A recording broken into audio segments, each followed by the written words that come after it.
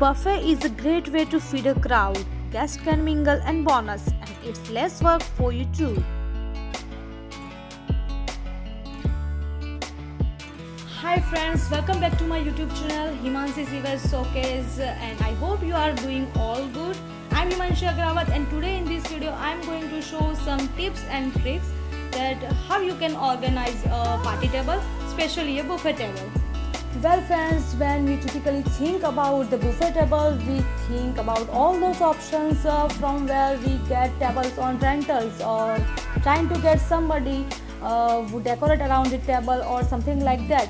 But here in this video, I am going to share some primary ideas to set up upon your table itself uh, uh, with uh, things in or around the house. Uh, so friends, if you are planning uh, household parties, uh, so don't miss to watch this video.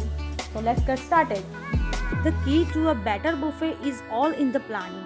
So first determine if you want to put the table in the middle of the room for allowing a crowd to use both of the sides or against a wall. If you don't have a much of space in your house start with a tablecloth that fits the style of the party. A neat and clean linen is the most important part of the dining experience Place a big stack of plates at the buffet starting point and then plan the rest of the buffet's layout.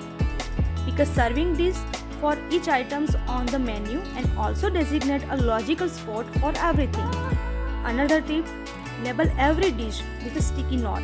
So this way you don't forget anything and you have all the serving pieces that you need in one place and ready to go way before the party. This includes trivets and serving utensils for every single dish. Oh yes, and don't forget something to rest the spoon on and arrange silverware together at the end of the table. That way, your guests don't have to juggle forks and knives while they fill their plates. And the third tip is decor a table in a proper manner.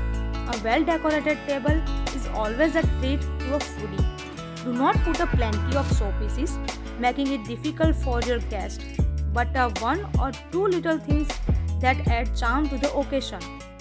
Take the time to set all this up at the night before the party, so you will be glad you did. Now we are ready to feed a crowd the easy way. So friends, that's all about today's video and I hope you have enjoyed my video. So if you like this video, please share and subscribe my YouTube channel and you do the next time.